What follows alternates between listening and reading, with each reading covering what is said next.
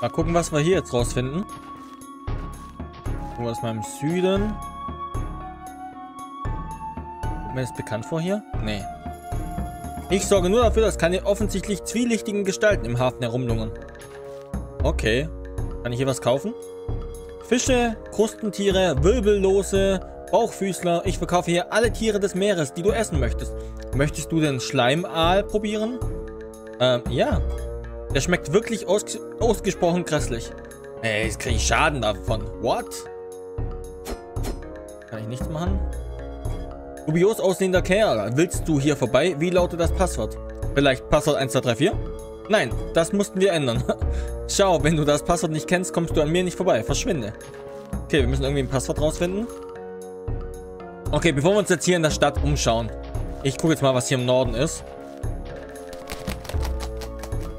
Guten Tag, willkommen in Eichenport, der uralten Stadt des Mooses und des Wissens. So wird sie aber von niemandem genannt. Ich lasse mir das für diejenigen einfallen, die auf dem Weg in die Stadt bei mir anhalten, um mit mir zu sprechen. Wie dem auch sei, viel Spaß in der Stadt. Okay, das hier ist erstmal Eichenport. Das heißt, das hier unten ist nur der Hafen. Krass. Da wird gleich sehr viel bla bla bla auf uns zukommen. Hast du eigentlich bemerkt, wie hoch die alten Stege aus Stein sind? Die niedrigen Stege aus Holz wurden dann gebaut, weil die Leute es leid waren, ständig herunterzuklettern, herumzuklettern. Ich habe gehört, dass die Stege so hoch waren, weil es Jahrzehnte dauerte, bis der Wasserpegel nach der großen Flut wieder gesunken war. Aber ich denke, dass die Schiffe einfach nur viel größer waren. Die Stadt Eichenport ist gleich nördlich von hier. Sie ist die größte Stadt im Nordmeer und sie wurde schon vor der großen Flut erbaut. Das heißt, dass der Meerkönig aus den Legenden über die Flut hier sein Palast hatte bevor er ihn auf eine geheimnisvolle Insel verlegte. Aber ich glaube, das Ganze soll nur Touristen anlocken. Okay. Weißt du, die Treppe rauf und an der Statue von Oe vorbei habe ich ein paar zwielichtige Kerle gesehen, die nichts Gutes im Schilde führen. Sie haben kein Schiff, sie sind also keine Piraten, aber Diebe vielleicht? Das Apfelschiff aus Efeustrunk ist eingetroffen. Weißt du, dass du durch den Schleierwald östlich von hier an den Ort kommst, von dem diese Äpfel stammen? Ich war dort noch nie, aber ich, diese Äpfel, diese Apfelquelle, diese Apfelbrunnen, diese Apfelfabrik oder wo auch immer diese Äpfel herkommen, unheimlich gerne mal sehen. Ich war da vorher aus, sieht cool aus. Viel Spaß. Oh, Hauptmann Tilia. Ach, oh je, du schon wieder. Ich habe dir gesagt, dass ich nicht euer Hauptmann bin, nur weil ich alle Hantelhaudegen im Kampf besiegt habe. Nein, du bist Hauptmann, weil ich dich befördert habe. Jedenfalls mache ich eine Reise, um eine innere Stärke zu entwickeln. Gestern bin ich zum Kloster auf dem Gipfel des Marmorfelsens hinauf und habe Tee mit den Mönchen getrunken. Morgen werde ich in der Stadt lernen, wie man Pasta kocht. Diese Reise hilft mir unheimlich bei meiner Selbstfindung. Freut mich für dich. Schau, ich muss wieder meine Angelegenheiten widmen. Aber weiter so. Zu Befehl, Hauptmann. Hallo? Okay, mit dem kann man irgendwie nicht quatschen.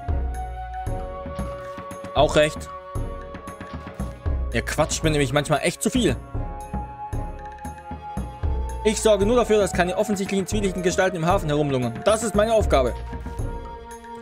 Na gut, kann schon sein, dass die Lieferung beim Abholen größer war, aber die Tatsache, dass ich ein Pirat bin, hat absolut nichts mit dem zu tun, das vielleicht passiert sein könnte.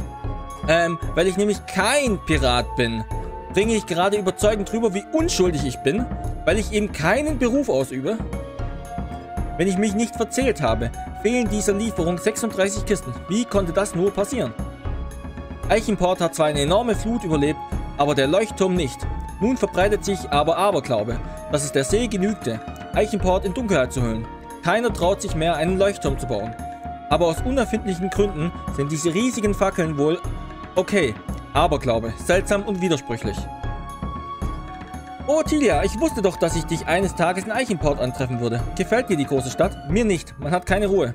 Möchtest du einen bestimmten Ort besuchen? Nein.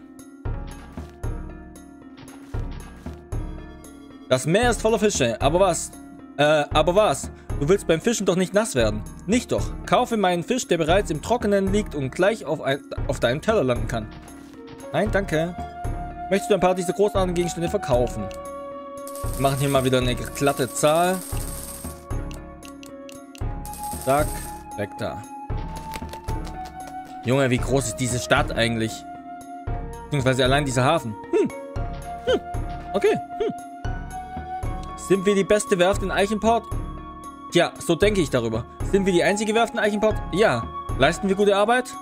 Wir sind die einzige Werft in Eichenport. Okay, okay, okay, okay. Wegschieben. Hoch. Schlagen. Runter. Da kann ich nicht runterspringen.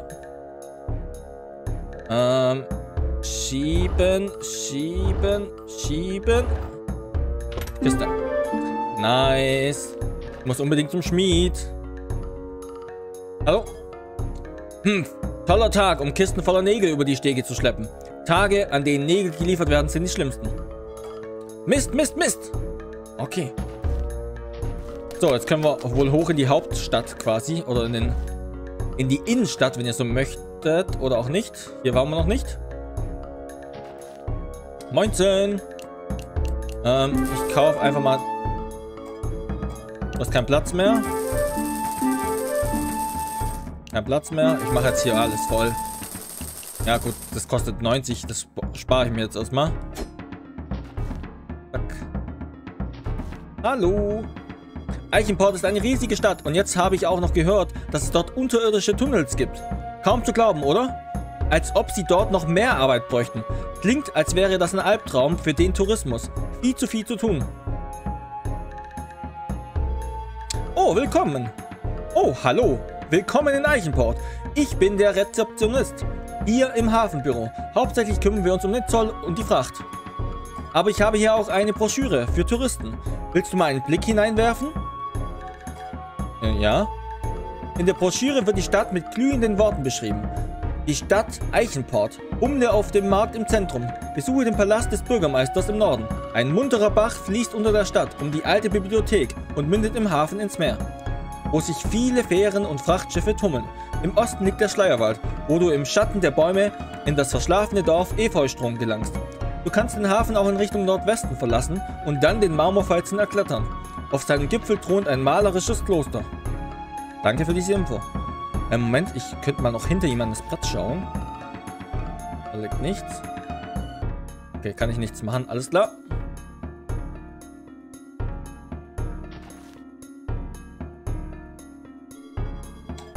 Kerl in Streifenhemd. Hey, Kleine. Eintritt verboten. Ist nur ein normales Lagerhaus, sonst nichts. Ich komme hier nicht vorbei an dem.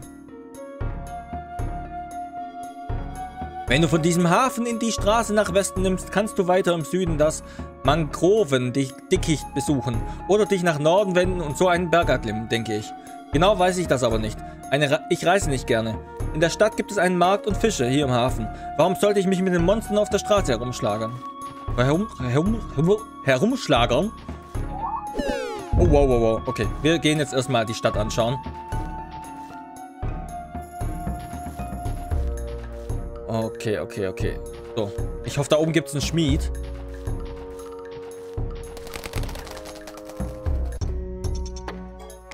Hey! Hey, du kommst mir bekannt vor. Ich schwöre, dass ich dich schon mal... Schon, äh, ga, ga, ga. Hey, du kommst mir bekannt vor. Ich schwöre, dass ich dich schon einmal gesehen habe. Das beschäftigt mich die ganze Zeit schon irgendwie. Ich weiß nicht. Das klingt irgendwie, als könnte ich dir da nicht helfen. Jetzt weiß ich's wieder. Du, du arbeitest in der Taverne auf der Kalksteininsel, oder? Ich habe dort letztes Jahr auf meinen Geschäftsreisen zum C4-Reich einige Male Halt gemacht. Wie lustig du bist. Das zweite Mädchen aus Kalkstein, das hier im Laufe von ein paar Monaten auftaucht. Moment mal, wer ist denn noch da? Ein Mädchen mit schwarzen Haaren. Ähm, äh, Hasel? Ich habe sie auf dem Markt getroffen. Sie hat Fisch bei dem Händler gekauft. Der Fische und Ma Mangrovenblätter verkauft. Mensch, was habe ich für ein gutes Gedächtnis. Hasel? Papa hat sie gerettet. Ich muss unbedingt mit diesem Fisch- und Magrovenhändler sprechen. Danke, Fremder. Hast du das leerstehende Haus im Südwesten der Stadt schon gesehen? Gleich bei einem kleinen Brunnen? Dort hat ein Bekannter von mir gelebt. Er meinte, es würde am, am selbst an warmen Tagen immer wieder eine kalte Zugluft spüren. Hasste es so sehr, dass er, dass er auf die Insel Li Liffe What? gezogen ist. Jedenfalls steht jetzt leer und Monster sind natürlich eingedrungen. So ist das Leben. Ganz im Südwesten. Ein Wunschbrunnen. Wirst du fünf Kronen hinein? Ja, klar. Ja, rein. Sieht hier irgendwann mal was?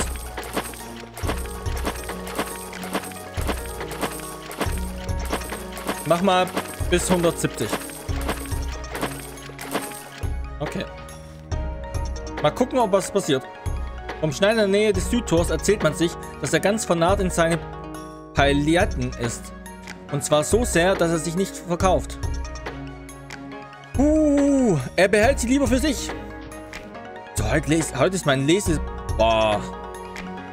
Wir sind fast bereit für die Tic-Tac-Toe-Meisterschaft, aber jemand ist nicht aufgetaucht. Hey, würdest du eventuell einspringen? Möchtest du an der Meisterschaft teilnehmen? Großartig, dann fangen wir sofort an. Meine Damen und Herren, ich erkläre die 29. jährliche Tic-Tac-Toe-Meisterschaft von Eichenport für eröffnet. Das Preisgeld... Huch, Moment mal. Die Truhe mit dem Preisgeld ist leer. Niemand verlässt den Raum. Das ist nun ein Tatort. Oh oh. Ich habe gehört, dass hier ein Verbrechen stattgefunden hat. Und ich bin so schnell wie möglich hergekommen. Der zum Leid des Verbrechers. Ich bin sehr schnell. Ein Ermittler ist bereits unterwegs. Wir warten. Keine Sorge, wir riegeln diesen Ort ab. Niemand kommt rein oder raus, bis der Ermittler eintrifft und den Dieb entlarvt. Das ist wie ein Roman, in dem es um rätselhafte Morde geht. Halt ohne den Mord. Oder den Roman. Als nur rätselhaft. Ich, die Meisterschaft ist abgesagt, aber ich trainiere schon seit drei Jahren. Ich saß die ganze Zeit mit einer Verbrecherin am selben Tisch. Hoffentlich hat sie mich nicht angesteckt. Ich sollte heimgehen und duschen. Hey, das Mädchen ist gerade mit 200 Kronen abgedüst. Eine Meisterdiebin. Ich muss nach Hause gehen und über meine Karriere nachdenken. Hier liegen Orangenschalen. Viele Orangenschalen. Wer so viele Orangen verkauft, äh, verkauft hat, würde sich wahrscheinlich an den Kunden erinnern können. Weißt du, ich bin fast erleichtert. Ehrlich gesagt bin ich nämlich eine ziemlich schlechte Spielerin. Ach, guck mal an. Hallo. Huch, mein Plan. Wow. Darf ich da jetzt auch raus? Sieht aus, als wäre die Verdächtige entkommen. Dann sollte ich gehen und einen Bericht verfassen oder so. Ich hier irgendwo Fußabdrücke jetzt? Wer, wer ist da? Oder eigentlich ist, ist, ist hier der Orangenverkäufer? Wenn nicht, verschwinde. Ähm, na gut. Okay. Komme ich jetzt... Komme ich da so rein? Autsch. Fair. Ganz fair, dass es von der Wand immer wieder abprallt.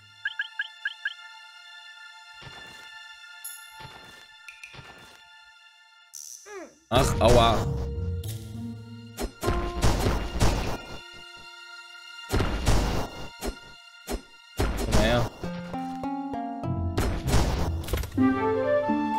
Du hast suchende Augen erhalten. Wirfst du sie, bewegen sie sich auf den Gegner zu und hüpfen dann wild herum. Du hast einen staubigen alten Schlüssel mit einer eingeritzten Eichenblattverzierung gefunden. Irgendein Tagebuch hat sich aktualisiert.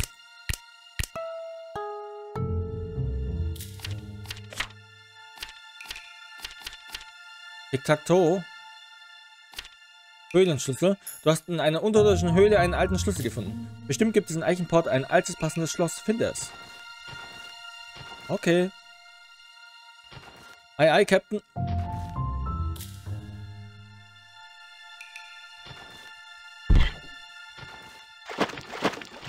Sind übrigens die alten Tunnel, von denen die vorher gelabert haben wahrscheinlich.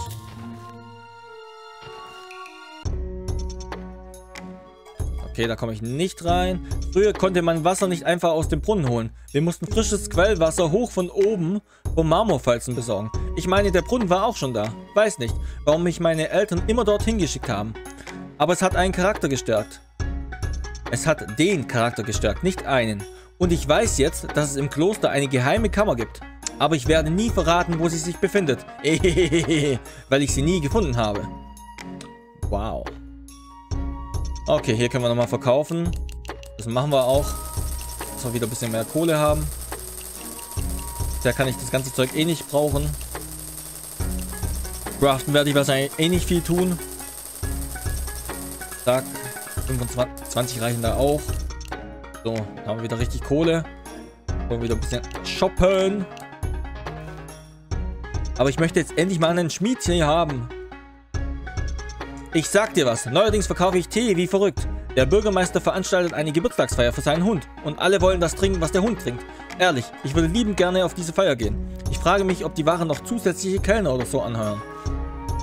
So, wir müssen aber erstmal in die Häuser hier unten jetzt rein. Da war ich ja drin.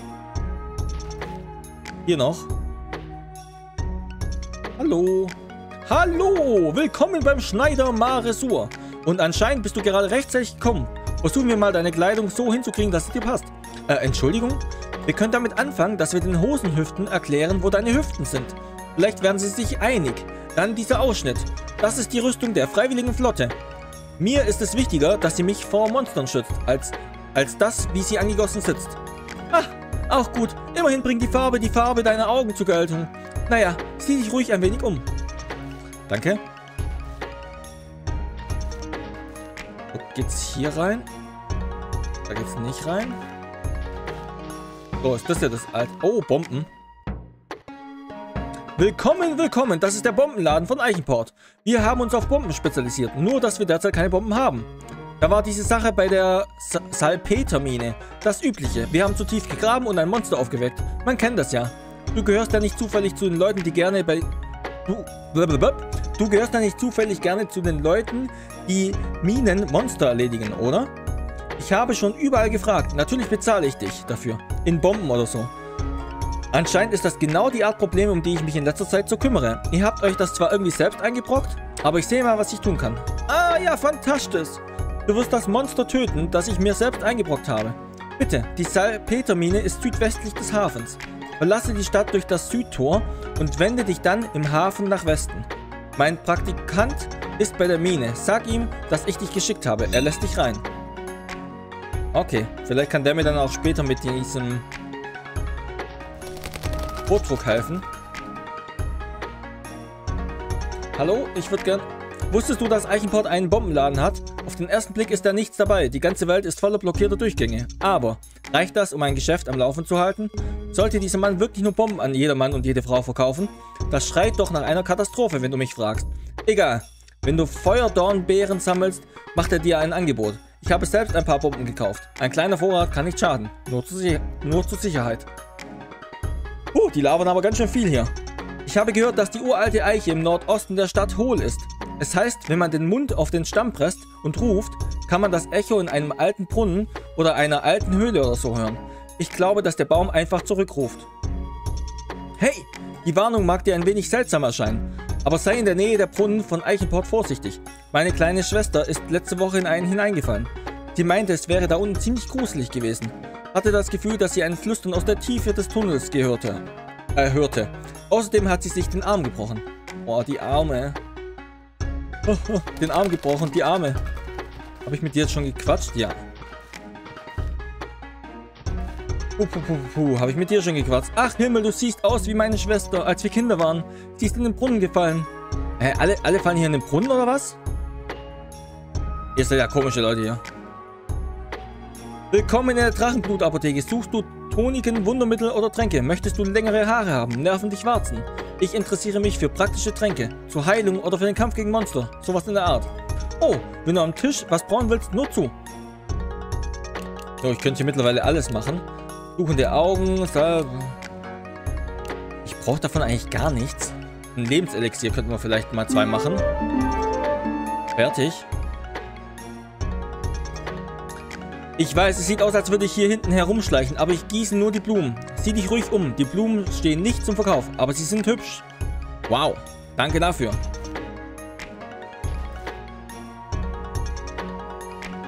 So, hallo. Ah, du bist bestimmt die Fensterputzerin. Wurde aber auch höchste Zeit, dass du kommst. Ich kann durch die Fenster gar nichts mehr sehen. Als würde ich in einer Höhle wohnen. Äh, äh tut mir leid, wie bitte? Ich glaube, du irrst dich. Tue ich das? Oh, du hast sie bereits geputzt? Ich trage meine Brille nicht. Hier ist dein Trinkgeld. Du hast eine Krone erhalten. Wow. Danke für dieses tolle Gespräch. Aufgabe abgeschlossen. Wow. Ah. Ah. Soll man hier raten, wo es aufkracht, oder...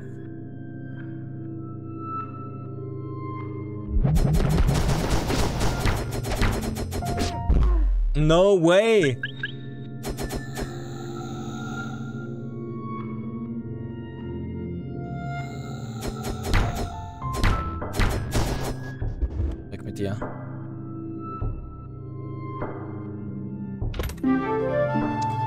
Rüstung hat sich verbessert. Nice. Und nochmal 100 Kronen.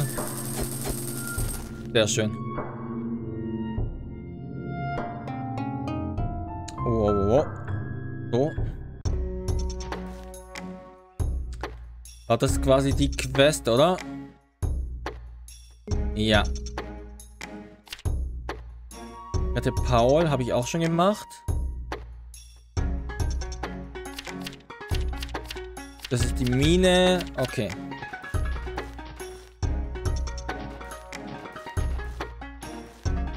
So, dann schauen wir uns noch hier drüben um.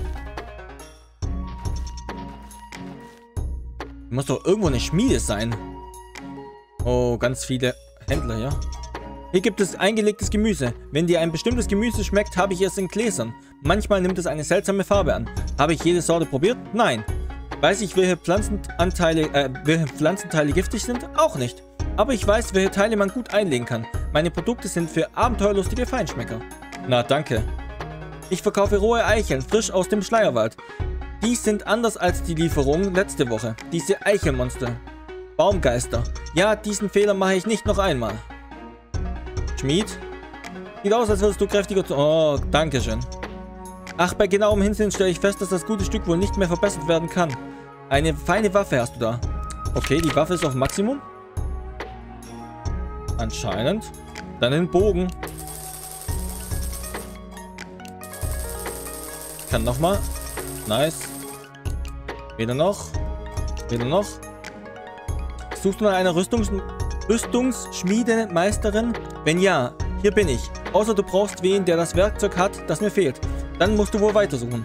Aber ich leiste auch ohne Werkzeug gute Arbeit und kann die Verteidigung deiner Rüstung von nur 100 Krön Krönchen erhöhen. Äh, warum geht's nicht? Hä? Okay, Moment. Moment. Speichern. Sorry, aber den Test... Ach Quatsch, ich will doch nicht die Credits angucken. Kann ich die nicht mal überspringen? Ist das jetzt gerade den eher ernst? Weil ich jetzt aus Versehen auf die Credits gedrückt habe. Besonderer Dank an... Okay, wahrscheinlich gehen die Credits eine Minute. Da seht ihr mal, wie wenig Leute dieses Spiel gemacht haben. Krass, oder? Also lasst euch davon jetzt nicht irritieren, falls ihr das seht hier. Dass man das nicht abbrechen kann, ist leicht nervig. Okay, danke. Wir haben es gesehen. Danke. Ähm, Englisch. Continue. So. Ähm. Ich will das jetzt kurz testen.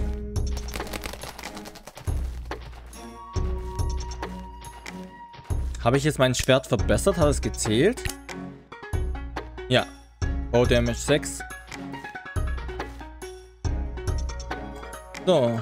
Gucken wir mal. Auf Englisch geht's jetzt wieder. Kann ich nochmal?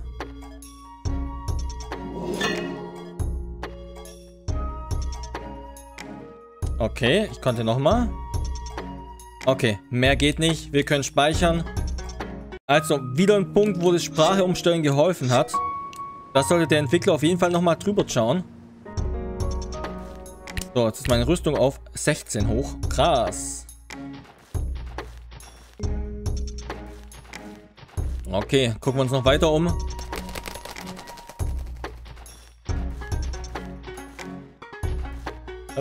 geh mir aus dem Weg.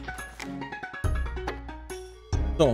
Hey, brauchst du Mangrovenblätter? Frisch geerntet im uralten Mangrovendickicht. Beim Möwenstein. Oder möchtest du lieber Fische? Äh, nicht wirklich. Aber vielleicht kannst du mir helfen. Ich suche meine Freundin Hasel und habe gehört, dass du vielleicht weißt, wo sie ist. Oh, Hasel, natürlich. Sie ist vor einiger Zeit in, der, in die Stadt gekommen und kauft hier ein. Ich glaube, sie nächtigt in der Herberge zum Warzenkraut. Großartig. Ist ein größerer Mann auch bei ihr mit Bart? Nein, ich glaube, sie ist allein in der Stadt. Sieh doch mal in der Herberge zum Warzenkraut im Nordwesten der Stadt nach, ob sie da ist. Das werde ich, danke. Ähm, ist gleich das hier. Hier gibt es Brot. Weißt du, dass Bur-Eichenbrot mit echten Eicheln zubereitet wird? Deshalb steckt es bestimmt voller Proteine. Aber vielleicht ist das Ganze auch nur Schrot. Ich weiß, der war nicht so gut. Ich bereite mich auf eine Stand-Up-Comedy-Show im Saloon vor. Wow. Hier gibt es bla bla bla. Braucht kein Brot.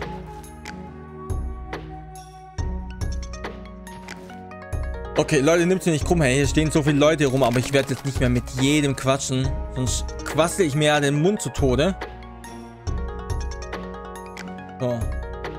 Jetzt haben wir wieder ein Haus mit Besuch.